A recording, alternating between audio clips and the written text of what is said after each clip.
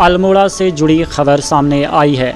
यहाँ दिनांक 19 अगस्त 2022 को एक महिला द्वारा कोतवाली अल्मोड़ा में आकर तहरीर दी कि सौरभ नगरकोटी पुत्र पूरन सिंह नगरकोटी निवासी जखेटा, पोस्ट एंटिटी अल्मोड़ा। काफ़ी समय से उनकी पुत्री को परेशान कर रहा है और पीछा कर भद्दे कमेंट व गाली गलौज कर जान से मारने की धमकी दे रहा है। जिस पर तहरीर के आधार पर कोतवाली अल्मोड़ा में अभियोग पंजीकृत किया गया था। पुलिस द्वारा नोटिस देने के उपरांत भी युवक द्वारा सोशल मीडिया के माध्यम से युवती को प्रताड़ित किया जा रहा था।